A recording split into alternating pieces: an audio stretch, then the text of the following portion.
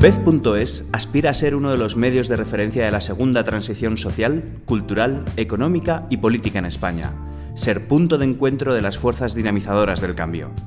Bez es el medio para quienes toman decisiones, una herramienta útil para encontrar las claves de lo que debes saber.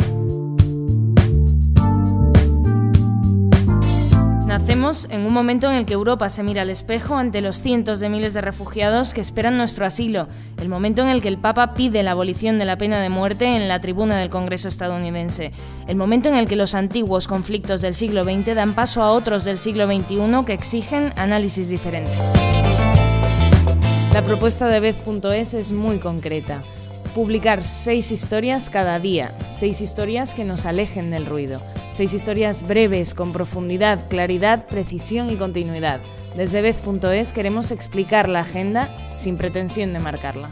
Si nos centramos en la cantidad, la situación deviene en una especie de locura representada por un sinfín de imágenes y textos que giran a tal velocidad que nos impiden saber si de verdad ocurre algo y cuáles son las consecuencias de lo que ocurre.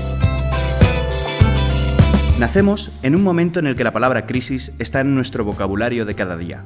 La crisis es el momento en el que la rutina ha dejado de servirnos como guía. Es el momento de seguir. En España es el momento de movernos hacia una segunda transición. Además, nos gusta hablar también con los que saben de los temas sobre lo que nos hacemos preguntas y buscar respuestas necesarias, por ejemplo, después de una noche electoral.